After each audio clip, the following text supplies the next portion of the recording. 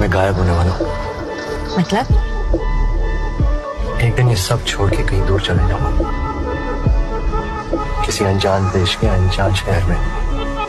किसी अनजान नाम से एक नई ज़िंदगी शुरू करूँ